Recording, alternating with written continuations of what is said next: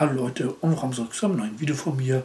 Heute gibt es eine neue Kapitel-Review und zwar zu Ganze Kapitel 52. Das letzte Kapitel hörte ja damit auf, dass Masakichi von den Wachen umzingelt wurde.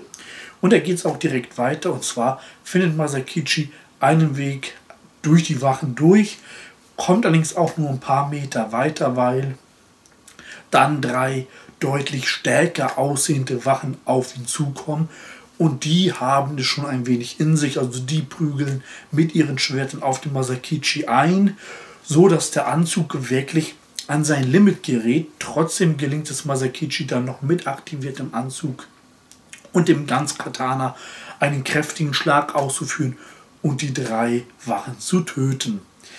Dann switchen wir zu Hanbi und Saki. Die sitzen abends zusammen, unterhalten sich und auf einmal merken sie, dass der Transfer wieder losgeht.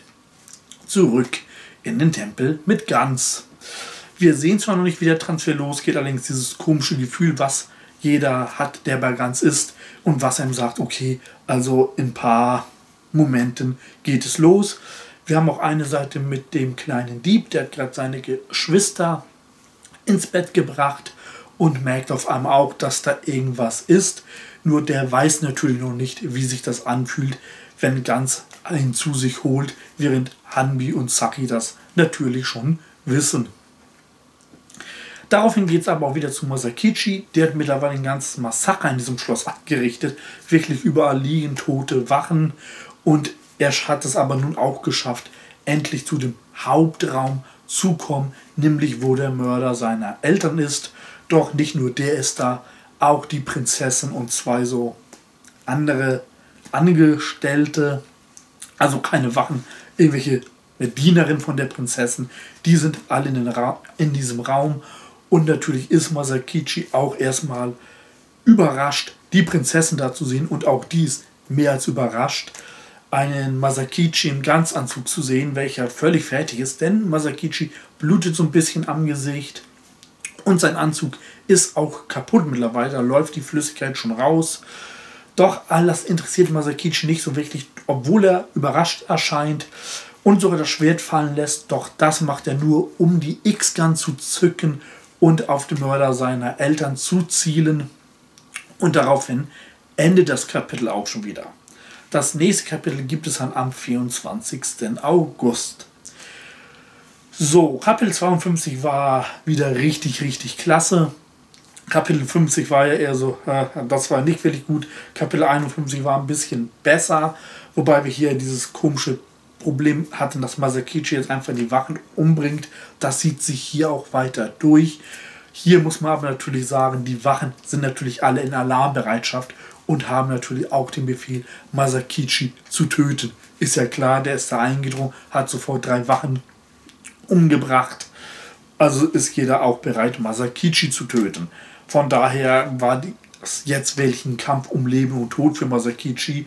Und ja, wie gesagt, hat halt ein Massaker angerichtet.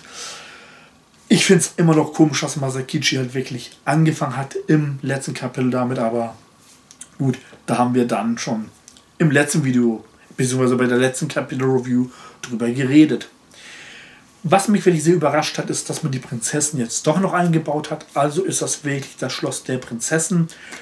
Und ich war so ein bisschen, ja, vor allem, dass sie jetzt so eingebracht wird. Ich hätte mir noch vorstellen können, dass Masakichi vielleicht irgendwie so begegnet auf dem Weg, wenn er sich da durch die Wachen kämpft. Und ihr dann begegnet, aber nicht, dass sie da wirklich in dem Raum mit dem Mörder von Masakichis Eltern ist, welcher irgendein Samurai ist, der wohl irgendwann mit der Prinzessin zu bereden hat. Vielleicht irgendwie auch so ein persönlicher Berater von ihr. Aber das ist natürlich noch nicht raus. Ist auch fraglich, ob darauf noch großartig eingegangen wird. Natürlich haben wir jetzt aber auch verschiedene Möglichkeiten, wie das Ganze weitergehen kann. Denn auch hier gibt es verschiedene Optionen. Immerhin hat der Transfer jetzt gerade angefangen und Hanbi und Saki, die können wir schon mal in den Raum tun. Ich denke mal, das wird nicht nochmal gezeigt, wie die vom Transfer erfasst werden. Genauso wie der kleine Dieb. Der Glücksspieler, vielleicht bekommt er noch eine Seite, wo man sieht, wie der vom Transfer erfasst wird. Aber vielleicht ist er auch schon da. Also das heißt, der Transfer der ist geht jetzt gerade los. Und ich gehe mal davon aus, dass es recht zeitnah ist. Masakichis Einbruch und natürlich der Transfer zurück in den Ganzraum. Nun natürlich die Frage, ja, was passiert jetzt? Wird Masakichi es noch rechtzeitig schaffen, den Abzug zu drücken und damit sein Ziel zu erreichen, den Mörder seiner Eltern zu töten? Und wenn er es macht, kommt dieser dann auch in den Ganzraum mit rein? Oder nicht? Denn auch diese Gefahr besteht. Und vielleicht, das könnte ich mir vorstellen, will Masakichi gerade den Abzug drücken und dann merkt er auf einmal, dass der Transfer losgeht und es fällt ihm dann ein, hm, wenn ich den jetzt umbringe, dann kommt der Welt auch mit in den Raum und lässt es dann erstmal. Wäre auch natürlich ganz interessant zu sehen, wenn so ein paar Wachen, die er umgebracht hat, auch im Ranzraum aufwachen. Wobei das bezweifle ich jetzt mal. Wir hatten bei der letzten Mission schon sehr viele Leute und da haben ja auch ein paar Leute überlebt. Die wurden zwar überhaupt nicht weiter beleuchtet, da waren diese komischen Geishas, dann haben wir noch dieses ältere Ehepaar und so ein paar dieser Nonin-Kinder. Die sind ja auch noch da, das darf man nicht ähm, vergessen. Wobei es natürlich auch fraglich, wie viele von denen kommen jetzt wirklich wieder zurück. Klar, man kann davon ausgehen, dass Saki und Co. denen gesagt hat, hey, ihr redet bitte nicht über ganz außerhalb, ähm, sonst sterbt ihr. Aber es hat natürlich die Frage, wie sehr sie sich daran halten. Ähm, vor allem so die Kinder oder auch diese Geishas, die dann doch mehr so Klatsch und Tratsch machen. Das könnte ich mir vorstellen, dass da nicht mehr alle zurückkommen. Aber wie gesagt, bei der zweiten Mission hatten wir wirklich unglaublich viele Leute. Das denke ich mal, wird dieses Mal nicht so sein. Es kann natürlich auch irgendwie sein, dass der Transfer losgeht und sich der Typ irgendwie an die Prinzessin oder Masakichi ranheftet, wie die Vampire im Hauptmanga kurz vor der Osaka-Mission, wo sich ja Horst Samurai und Shiaki da an nee, hier Suzuki und Reika geheftet haben, um in den Raum zu kommen. Hier ist allerdings die Frage, wieso sollte der Mörder von Masakichis Eltern das machen? Hm. Also, wie gesagt, das wäre wieder nur eine Möglichkeit, aber ich glaube, der wäre immer zugeschockt, wenn er auf einmal sieht, wie die sich auflösen.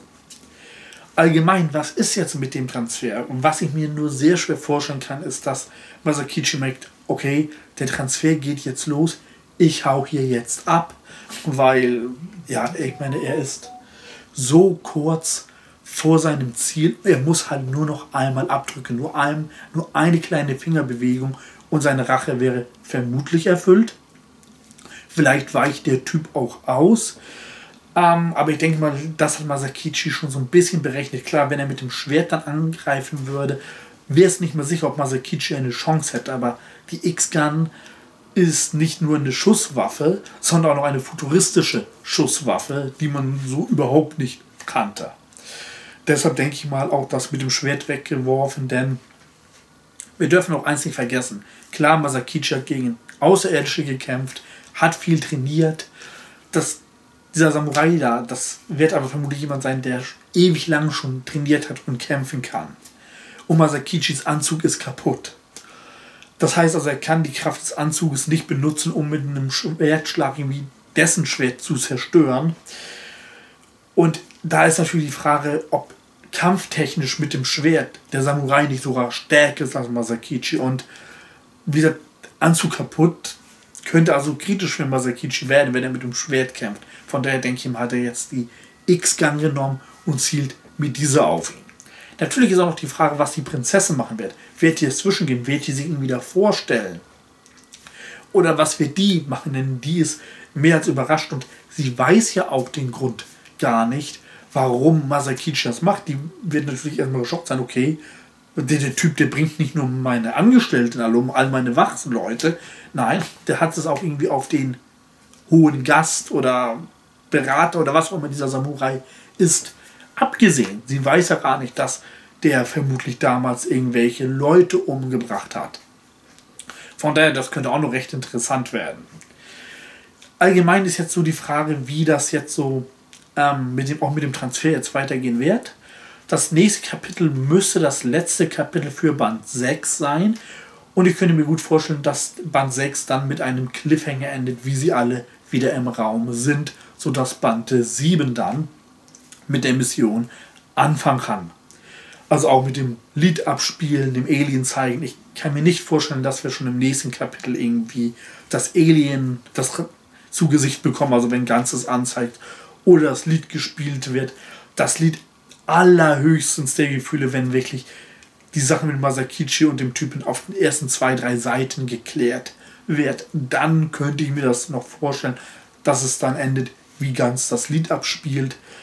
Aber viel wahrscheinlicher ist es, dass wir sehen, wie Masakichi und die Prinzessin in den Raum kommen auf den letzten paar Seiten vom nächsten Kapitel und damit Band 6 dann mit dem Cliffhanger endet und dann Kapitel 54, also das erste Kapitel für Band 7, dann mit den Missionsvorbereitungen, also alles, was dann sich im Raum abspielen wird. Denn auch hier ist natürlich die Frage, wenn da, sagen wir mal, Wachen doch in den Raum kommen, die getötet worden sind, die werden Masakichi angreifen. Logischerweise. Oder wenn doch irgendwie der Mörder seiner Eltern in den Raum kommt, entweder weil er getötet wird oder weil er sich irgendwie ranheftet, ist das natürlich auch noch eine Sache. Da gibt es noch mehr Chaos im Raum. Aber gut, das müssen wir abwarten. Ich bin wie immer gespannt auf eure Meinung zu dem Kapitel. Was sind so eure Vermutungen und was würdet ihr gerne sehen? Schreibt es in die Kommentare. Und dann würde ich mal sagen, mehr wenn ihr mich wieder seht, ihr müsst unbedingt schauen, wie es weitergeht.